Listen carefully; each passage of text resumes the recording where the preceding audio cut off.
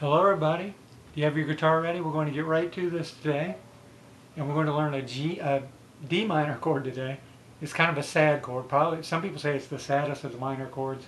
And it's a little tough. It's a little tough to stretch your fingers out, so it's going to take a little bit of practice. You really got to push your fingers down, get those little grooves on your hand. I've got plastic strings on this guitar because it's a classical guitar. Okay? Now, you're going to take your first finger, your pointy finger, first fret, very bottom string, okay? And then your middle finger is going to go on the second fret, third string from the bottom, and then your ring finger will go on the second string from the bottom, third fret. So three fingers, three frets, three strings. There you go.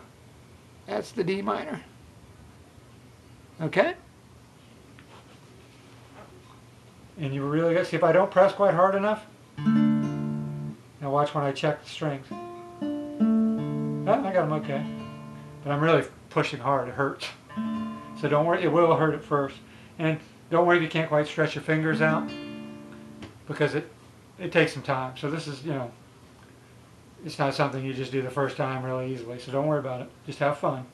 Let's do it again. D minor.